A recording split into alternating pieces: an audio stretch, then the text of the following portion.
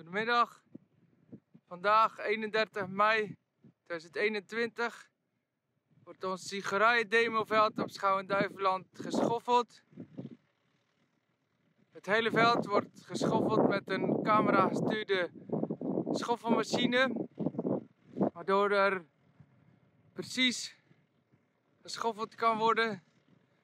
We zien in het uh, geïntegreerde en het chemische object dat de bonelan en de kerp zeer goed gewerkt heeft.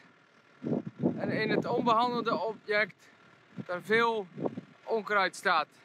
Die wordt nu aangepakt.